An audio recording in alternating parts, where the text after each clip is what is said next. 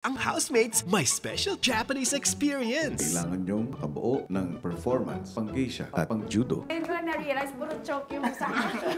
at ang bahay ni Kuya. Isang kaibigan, dapat may respeto at may limitasyon. Mapupuno ng tensyon. Hindi ako bastos na tao.